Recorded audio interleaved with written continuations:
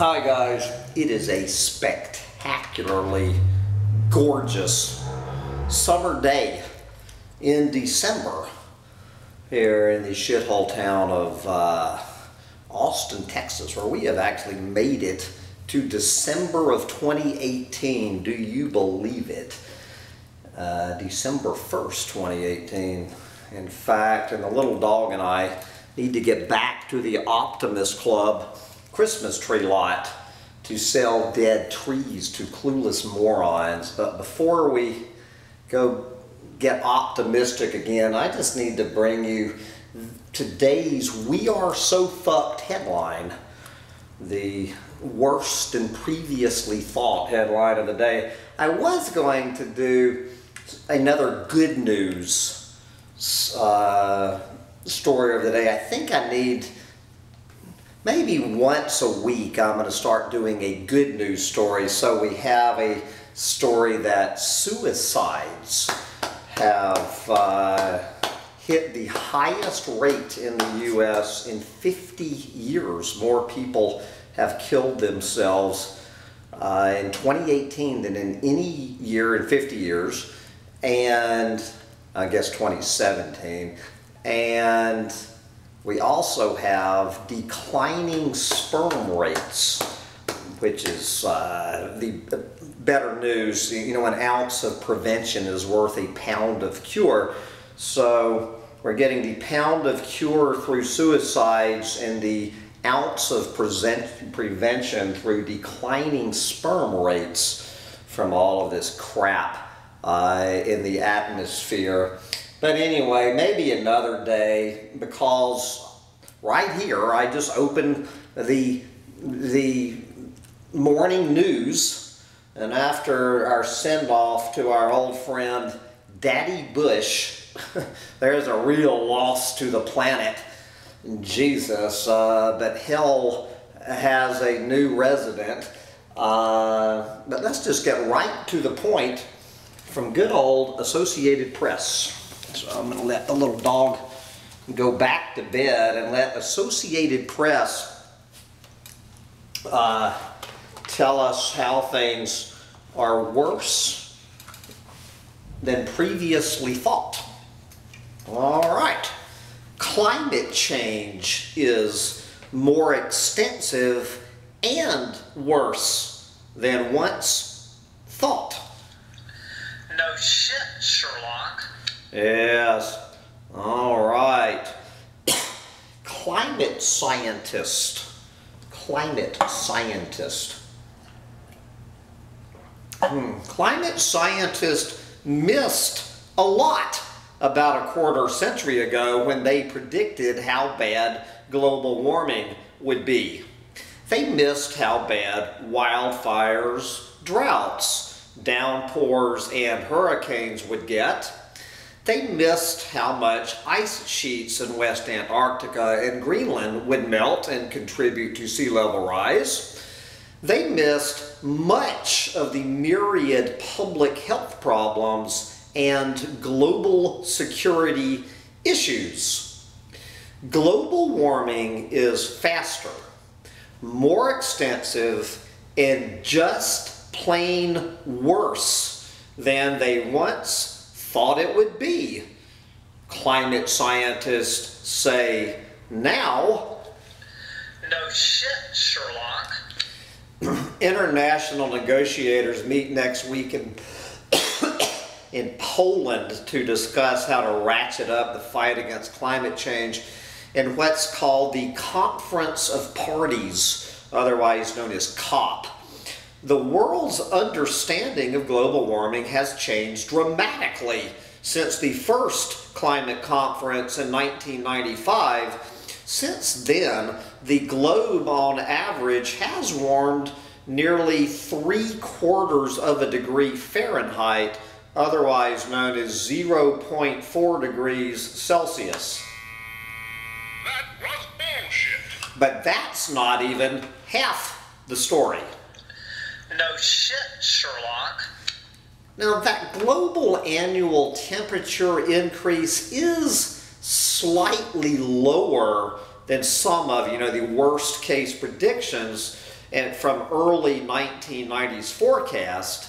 Yet, more than a dozen climate scientists told the Associated Press that without the data, meaning the historic data currently available in today's improved understanding of the climate, researchers decades ago were too conservative and could not come close to realizing how global warming would affect daily lives. So, what they're saying here is unbelievably uh, one of the few places that has not turned out be the worst case scenario, where the worst case scenarios about global temperature rise.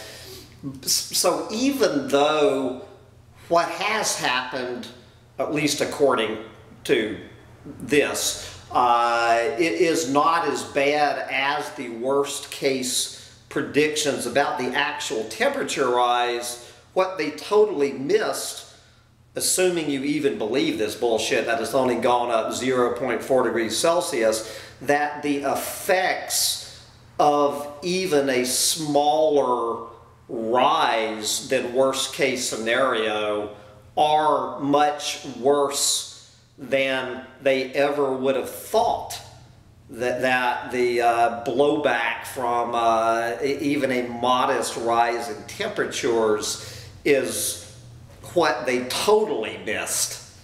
Uh, what they totally missed is how fucked we are. Okay?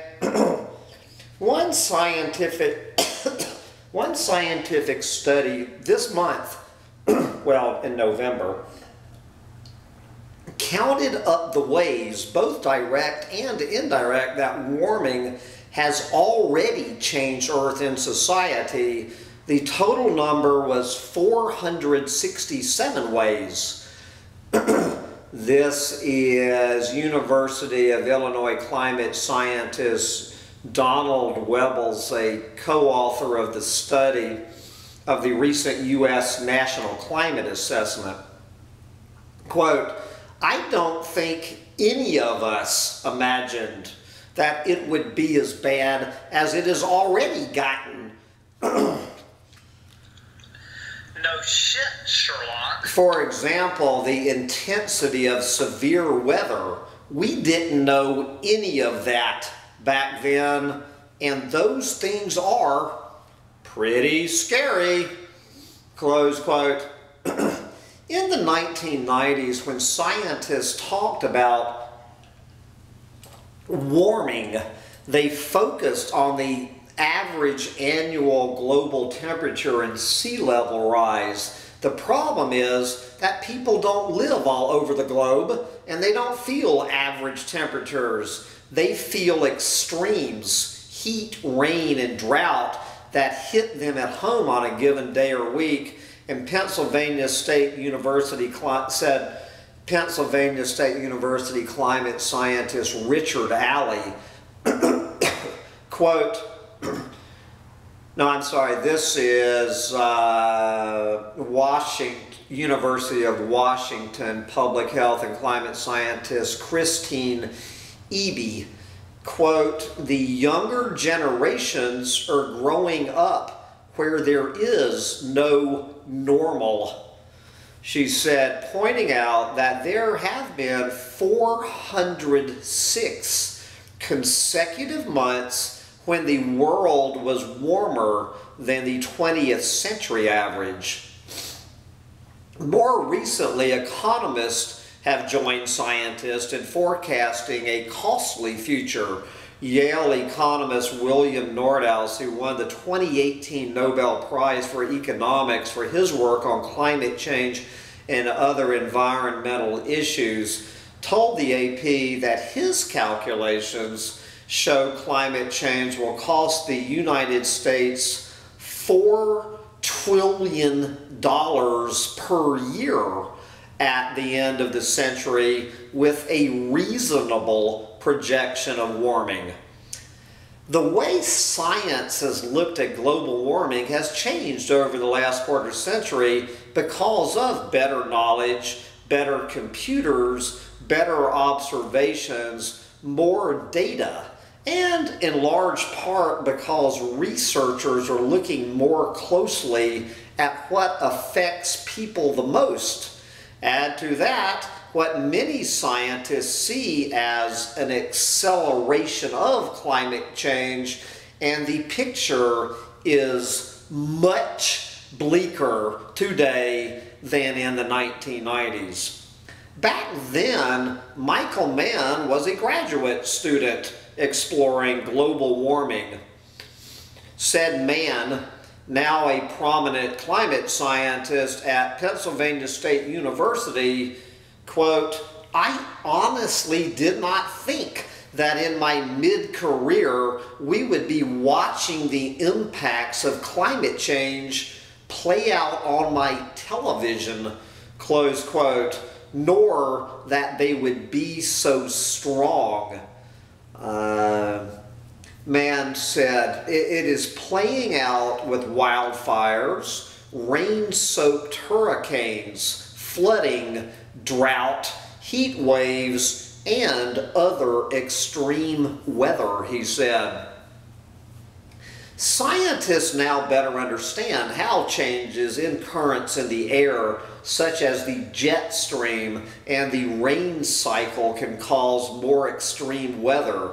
And recent research shows how climate change is altering those natural factors. The biggest change in the science of the last quarter century, according to Sir Robert Watson, a former top NASA and British climate scientist and former chair of the IPCC, says, quote, we can now attribute changes in global temperatures and even some extreme events to human activity.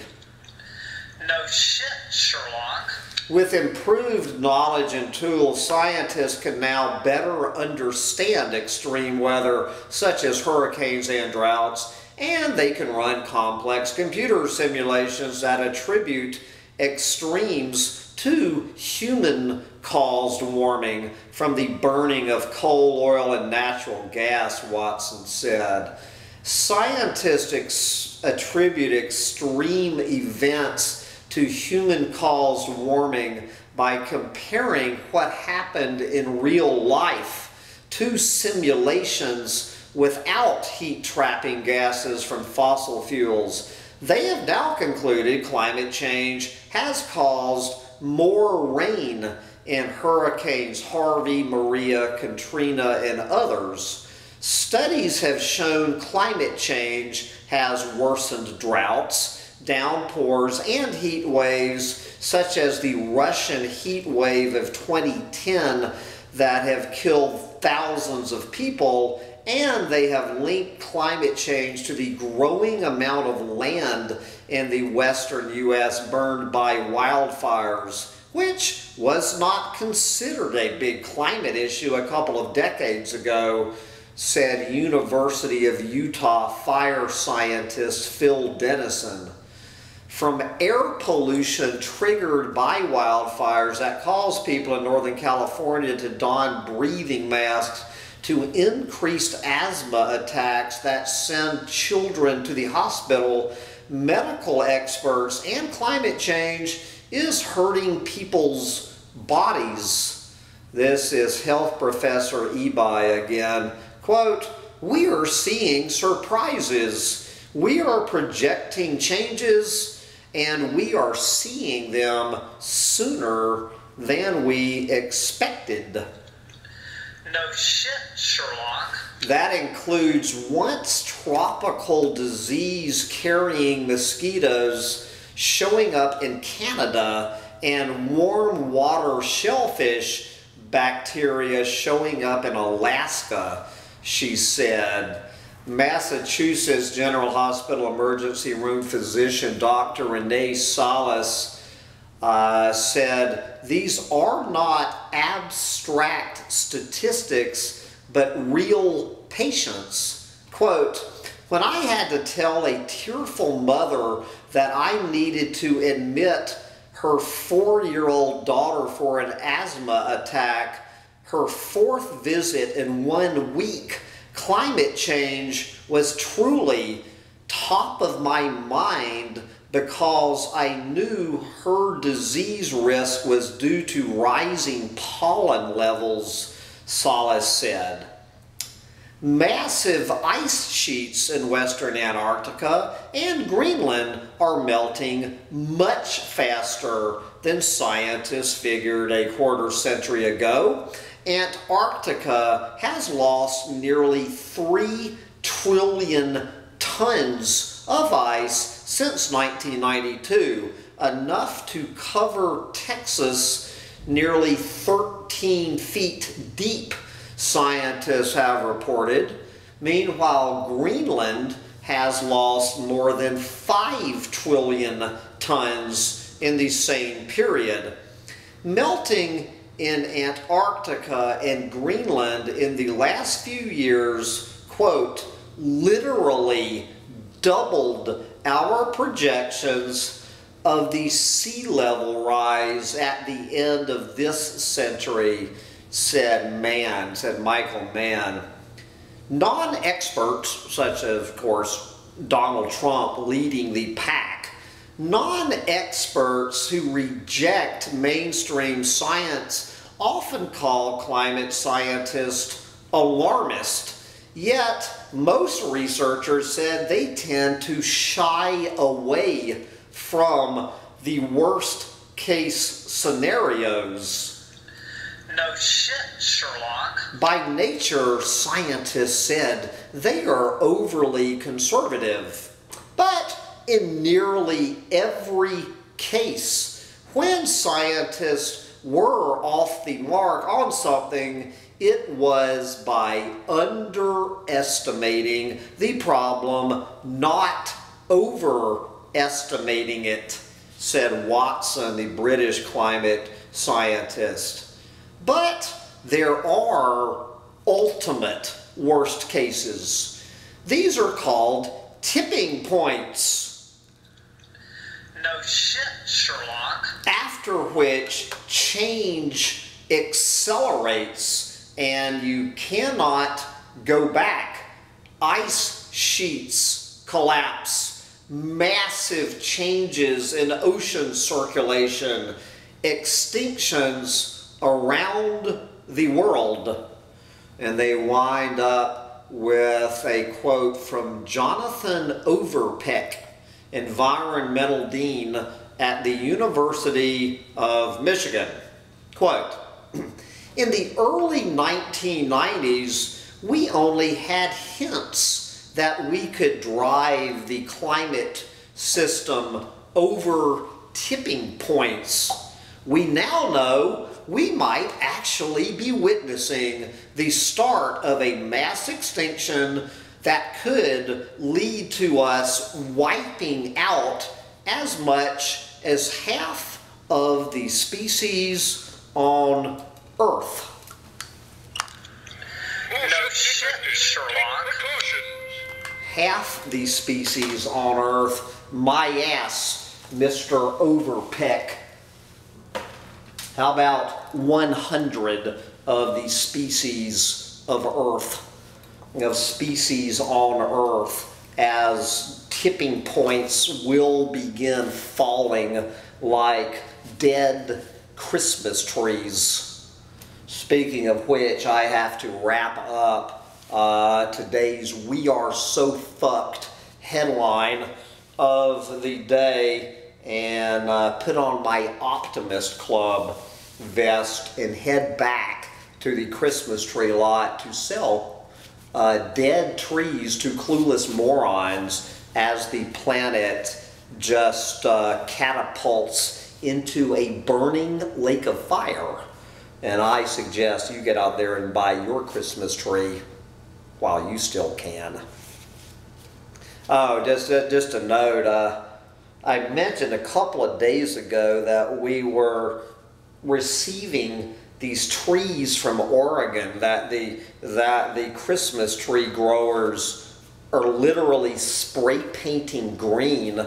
And uh, so we tracked down the grower yesterday in Oregon and they said because of climate change, because of the drought and the hot weather in the Pacific Northwest, as the Pacific Northwest turns into the Pacific Southwest, that they had no choice but to start painting their brown Christmas trees green. So I am seeing firsthand uh, the effects of climate change on the Christmas tree lot. We're, we're so fucked, people. Smoke them if you got them. We all know why. Bye, guys.